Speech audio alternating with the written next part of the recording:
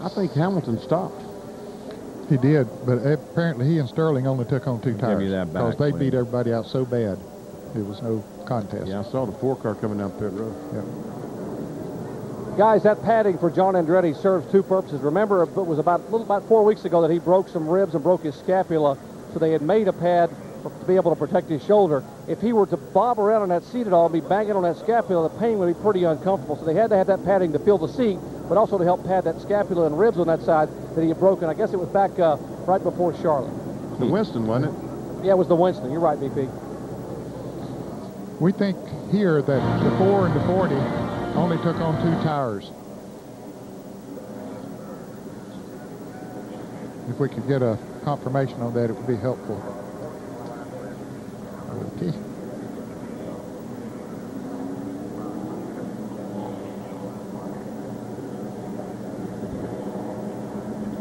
Out of way, Mikey. Way to You jinx it to him. him. You ought to call these drivers every weekend when you pick them, so they might might as well not even show up for the race.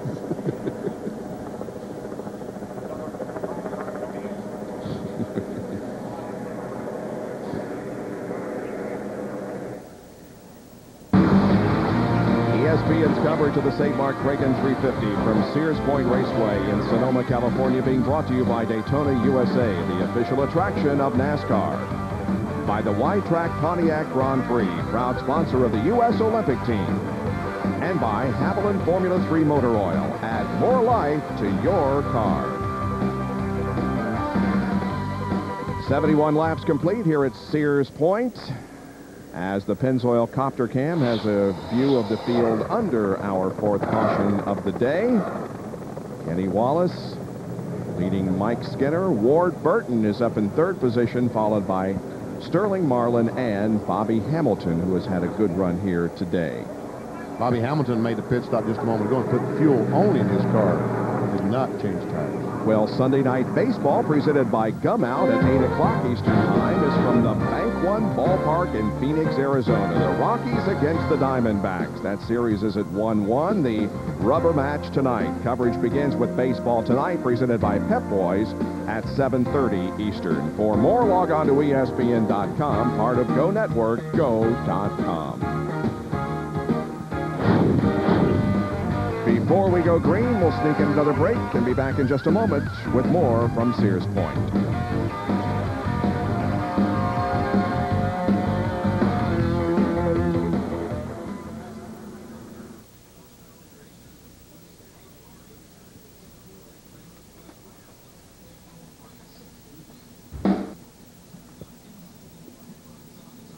Somebody dropped the drum.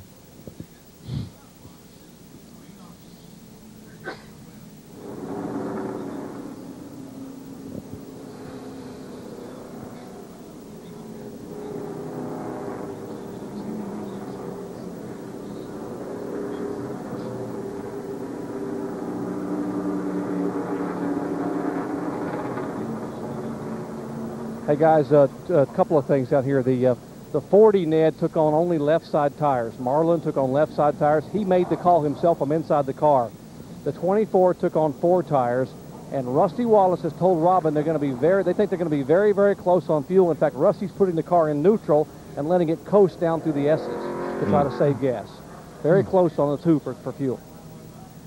Thanks, Jerry. You're welcome, guys. You can shut my mic. Uh, he has uh, been a tough runner all day, so I expect him to move up there very, very I'm sorry, fast. inbound.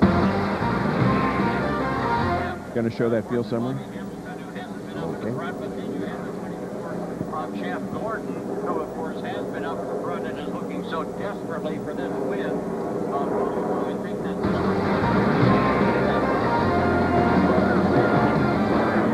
ESPN proud to be here in Sears Point Raceway, Sonoma, California. Here's how they're running at the end of 72 laps. We're under caution. Kenny Wallace is leading for the first time in the year 2000 in the NASCAR Winston Cup race. Now, those top three did not stop. Kenny Wallace, Mike Skinner, and Ward Burton. Sterling Marlin took on left side tires only. Bobby Hamilton, as Benny reported, only took on fuel. Everybody else from there on down took on four tires. Here is 16 through 30, and we've got 28 on the lead lap. And John Andretti in the 20 car replacing Tony Stewart, obviously the last car. Steve Park, who had the power steering problems, that problem has been fixed. Now he's back in 26th spot. We see Jeff, saw Jeff Burton get his lap back. He's on the lead lap in 23rd spot. And the remainder of the field now, with just two officially out of the race, Boris Said and Andretti. Both of those drivers are still in the race as relief drivers. Boris Said for Robert Pressley and Andretti for Tony Stewart. John? One thing I've noticed watching Kenny Wallace make his way around the track all afternoon is uh, fuel overflowing, coming out the uh, overflow every lap. And as a result of that, he's lost a lot of fuel out on the racetrack. So they're only picking up about 18 gallons. That means he can only go 25 to 27 laps. So he couldn't make it to the end. So that's the reason they decided to stay out until they got to that 25 lap window before they would make their pit stop to go to the end of the race. Here we go. The grid is about to come out, and the Save Mark Cragen 350 back under race conditions. Hey, we have a situation here with some tires with cars with old tires on them. Some with four. There's Jeff Gordon making a move already on the four car, which didn't take on any tires. Quick work of him. Is looking good up there in third spot, and contact between Marlin and Compton. Stacy gets off course momentarily, creates a real bottleneck behind him, but keeps his momentum. And Mark Martin, and here's Jeff Gordon in the 20 car almost make contact. Gordon drives on the inside of Sterling Marlin, takes that spot away. Here comes Mark Martin on the inside of four. Now remember, Sterling Marlin only took two tires. He took left side tires. And Rusty, And Rusty Wallace around he spins. goes.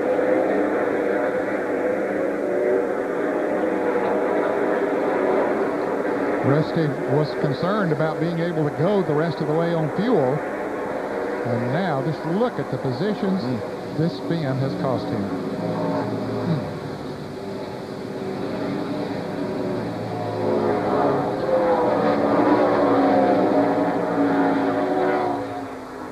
Take a look at it once again. It was up in turn number seven. He comes down the hill. He gets on the inside of Mark Martin, goes up and gets in the inside of four. I think he tried to avoid spinning Bobby Hamilton out. When he did, basically spun, spun himself out. Like he hit the curbing with his inside tire, the right side tires, and that shifted the weight on it, and around he went. Of threw him over into the side of the four car. There he is. Rusty Wallace now back to the 28th position, the last car on the lead lap. Brutal.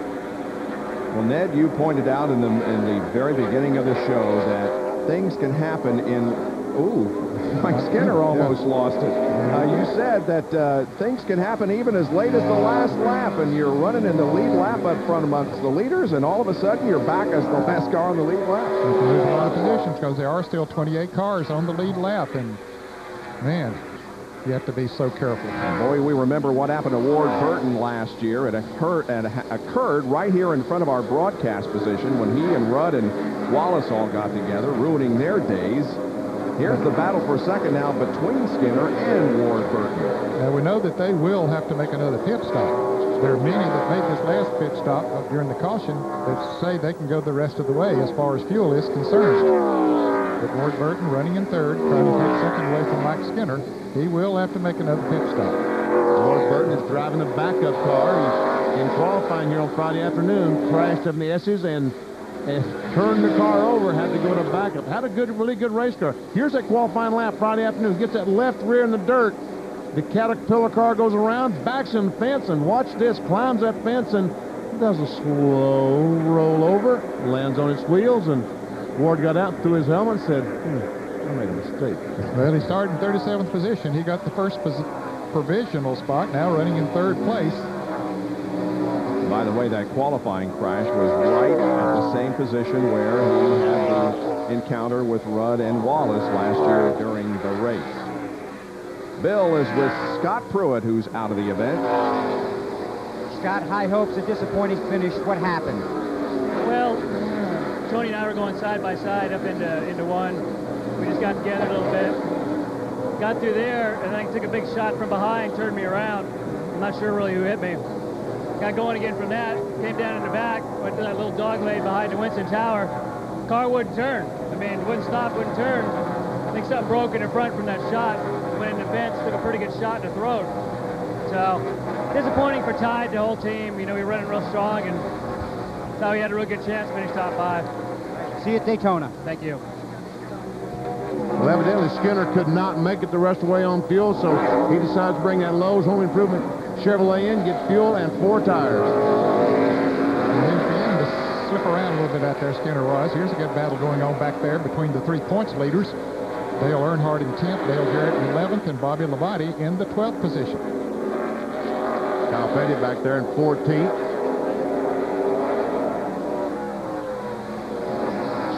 Now going up the hill just a moment ago on this same lap that they're on right now, let's watch what happened going up that turn. And coming up on Stacy Compton. There's Joe Nemechek in car number 33, and there's some contact made somewhere because I saw a lot of smoke. There it is. Oh, yeah. Earnhardt really got pinched in there for a moment, but fortunately those behind him backed off and gave him a little bit of running room, so keeps going. Joe Nemechek is having a good race. He's in the ninth position, although he is under fire from Dale Earnhardt. And Dale Jarrett, the uh, defending Winston Cup champion, is very close to a top 10 position here.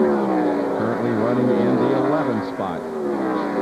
He started 18th, dropped back to 25th on lap number 15, but has moved up to the 11th spot, and Kyle Petty is trying to get around the 9 car of Stacy Compton.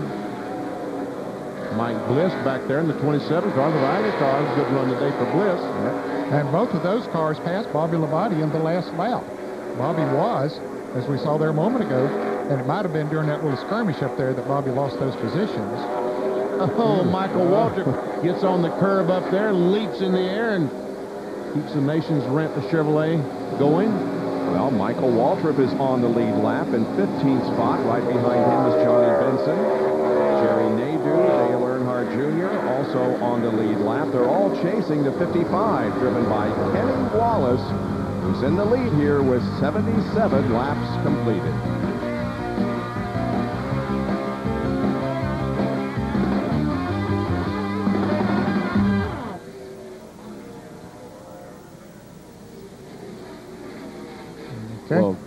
Kenny Wallace.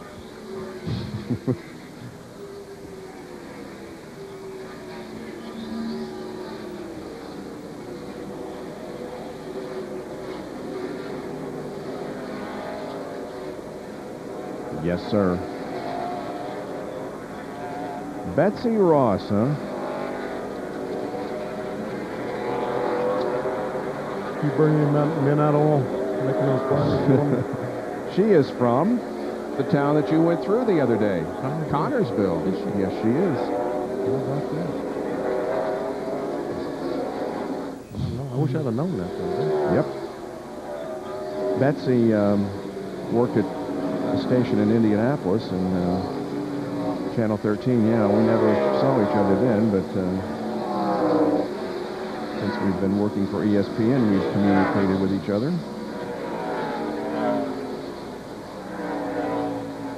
Battle for second place. Not anymore.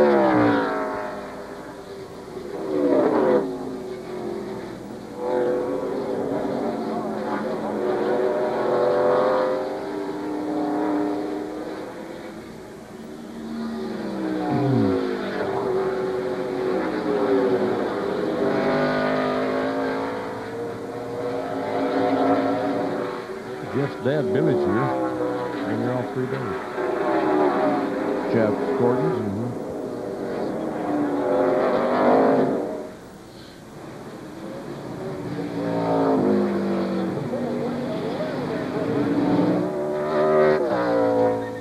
Kenny Wallace leads the SaveMart Kragen 350 NASCAR Winston Cup race at Sears Point, but Jeff Gordon has taken second position away from Ward Burton and now begins to close in on Kenny Wallace, whose best road course result was ninth. Watkins Glen back in 1993. His best finish here at Sears Point was last year. He finished 14th, talking about the leader, Kenny Wallace.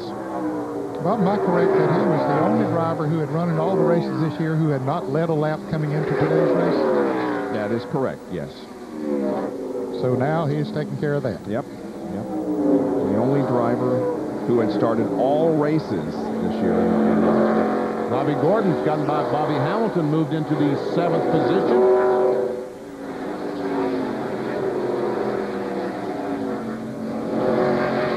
Man, I got a sneaky feeling some of these guys will not be able to make it the rest of the way on fuel. Do you mean even some of those who stopped? Yeah. I, I, I think there'll be a lot of them be sweating down near the end if the thing goes uh, green the rest of the way.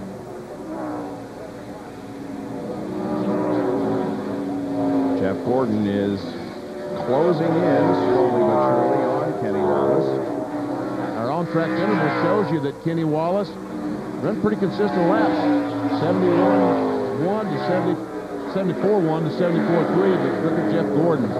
All the laps, three laps, 73.9. And one lap where he passed the car, 74.2. Slowly, slowly, just a couple of tenths of a second per lap, closing in Kenny Wallace. So those fresher tires is one thing that is allowing him to do that. And he's now 2.8 seconds behind Wallace, so he's shaved a little bit more off. Marlin running fourth, and Mark Martin, and Ricky Rudd.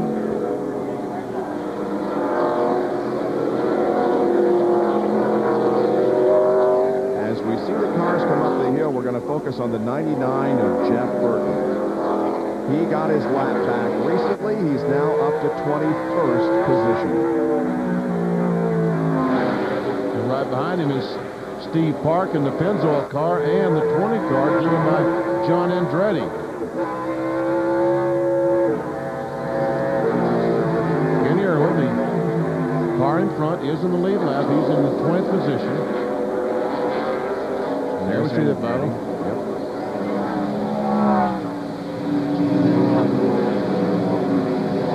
Jerry, how's Tony Stewart feeling? Well, Bob, when he got out of the car, he wasn't doing very well at all. He was very lightheaded. They were helping him to, out of the pit area as quickly as possible to the infield hospital. Now, he's in the infield hospital, or has been there for quite a while, getting IV fluids, uh, getting some other hydration. And the report is that he is now awake and feeling much, much better uh, after that intestinal flu and heat got to him, but doing much, much better. Would love to be in the race car, but the report for Tony Stewart is uh, the, the intestinal flu may have gotten him down, but the fluids have helped tremendously. John Andretti just drove his car into the 22nd position as he passed Steve Park. Battle for third place shaping up here between the 22 of Ward Burton, the Cat car, Sterling Marlin, Mark Martin, and Ricky Rudd. By the way, while we're focused here on Mark Martin, I got to thank the people at Big Brothers and Big Sisters of America. They have elected me as their media person of the year. Congratulations. Because of the uh, the mentions that we have done, you know, Valvoline donates a lot of money to Big Brothers and Big Sisters. Yeah, that's a fine program. Well, that's terrific. Good for you. Mark Martin is in the fifth position, about five seconds behind the leader of the race.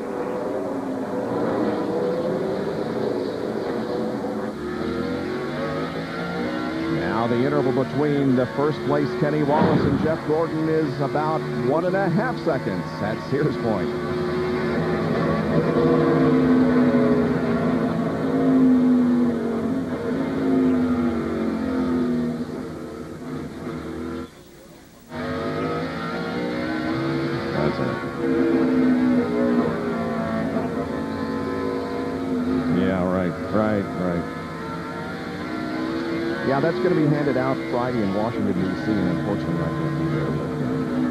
They're going to officially give it to me at the Brickyard 400, so if you would like to attend, I would be appreciative. In some kind of a ceremony.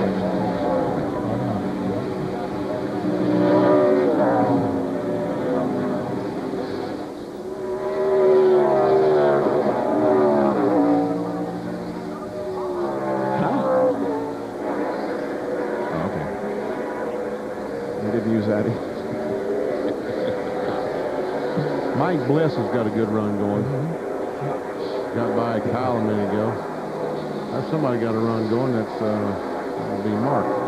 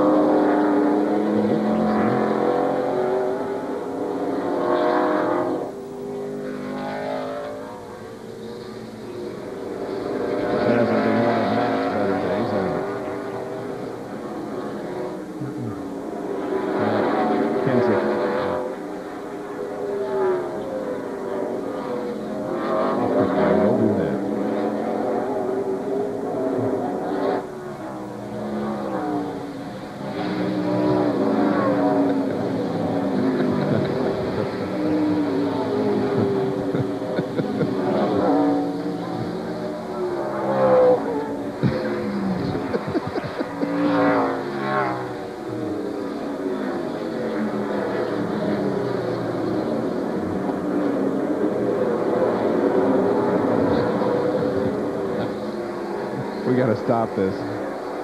Jeremy going a lap down.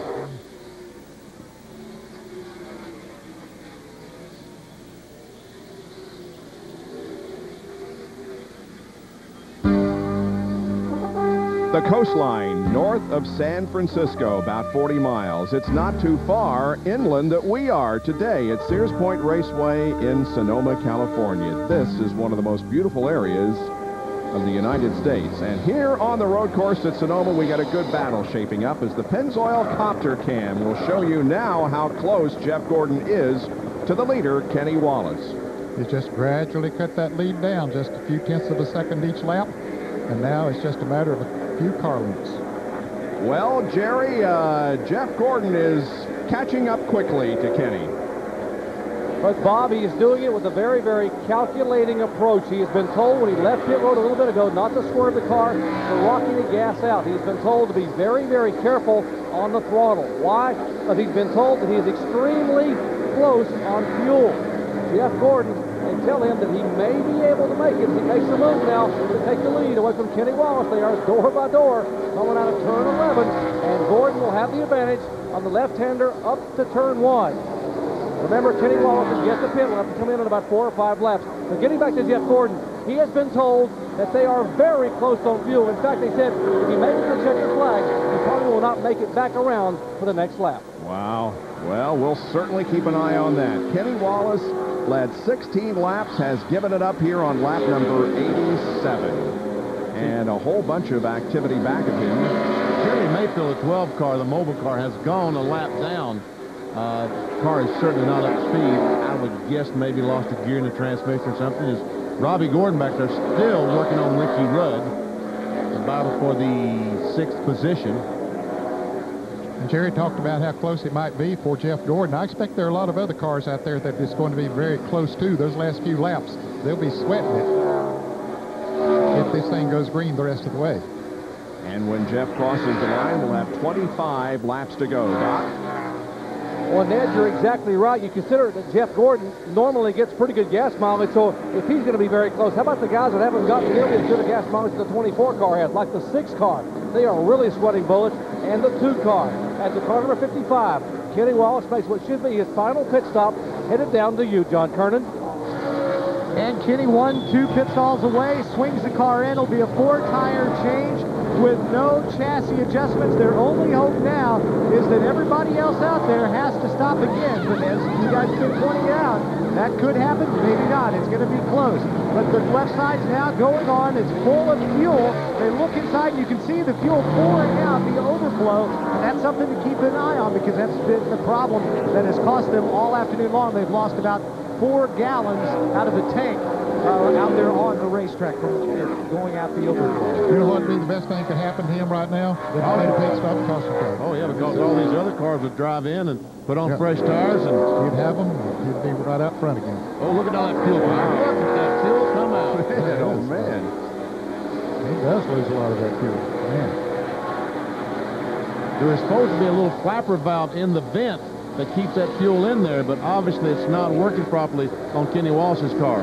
Well, Jeff Gordon has the lead over Ward Burton, Sterling Marlin, Mark Martin, Ricky Rudd, and Robbie Gordon. We have had seven leaders today and 10 lead changes. Sterling Marlin has led the most laps so far, 25. Jeff has been out front for 19. Kenny Wallace led 16, Rusty 11, Pruett 10, Robbie Gordon 5, and John Andretti was out front in two laps Tony Stewart's car. And we have Kenny Irwin and Steve Park spinning in turn number 11. I don't think this is going to be the caution that would benefit Kenny Wallace. Well, if he can get, yeah, he finally did get it uh, fired. Kenny Irwin did. And we understand that Jeremy Mayfield, who was saw got lapped not too long ago, made a pit stop, and then he, here's a replay, but anyway, Jeremy Mayfield got a penalty as we watch this. Hmm. See, Steve Park got in the corner and just locked up the right front tire trying to slow down. And when he locked up the tires, the car won't turn. You folks, when you have the brakes on, the car will not turn. He gets in the corner, and when the brakes locked up, he just slid right over in the side of Kenny Irwin, and both the cars went around. And we hear that Rusty Wallace has thoughts of pitting, right, Jerry? Exactly, Bob, for a couple of reasons. They lost the track position with that uh, spin up there a little bit ago in turn seven, plus the fact they are so, so very close on fuel. They figure they can go ahead and get him in, put gas in the car, put four tires on it, get him back out in front of the leaders. If there is a caution flag, then they're sitting golden. If there's not, well, he just drives it to the finish line and hopes some other guys run out of gas and he can gain some spots. They can't afford to take a chance. Rusty will pit this time by. I think that's good strategy. So do I. I think that's a really good strategy right now because he's back in about 20th position, 21st position. He might as well go in and take a chance.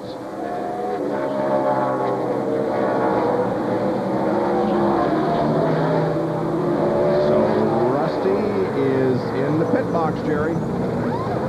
This could be a strategy move, as you guys said, that could possibly win him a race. All he needs is a caution flag. Deliberate pit stop for Rusty Wallace. Billy Wilburn, left front tire coming off. Earl Marvin, one big pound on that jack in the car goes in the air. Left side tire's on. Great pit stop. They got full of fuel. Great stop for the Miller Lite crew. Rusty back down and away. Look how many times we've seen that 14 number up there today. We saw it on Earnhardt. We saw it on Skinner. Now Rusty Wallace, with, a, with a, maybe the race on the line, pulls off a 14.8. Looks like he's going to be about 8 or 10 seconds ahead of Jeff Gordon, so he does stay on the lead lap. 22 laps to go here at Sears Point. Lap number 90 is completed. Jeff Gordon leads Ward Burton, Sterling Marlin, Ricky Rudd, and Mark Martin.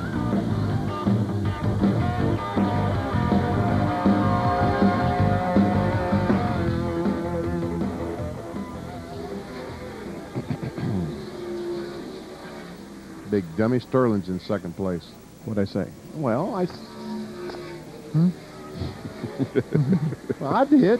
Burns oh, okay. got to stop here before long. Wonder why he hasn't done it, really. I mean, to his advantage if he cruises around here like a If Gosh comes out, he's really hurting. Guess he's up towards the front. Yeah, that, that would help. Yeah, that's right.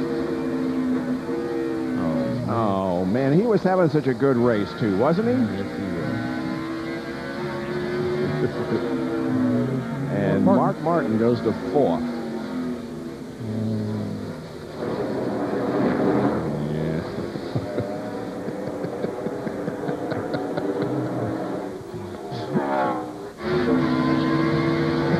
Yeah.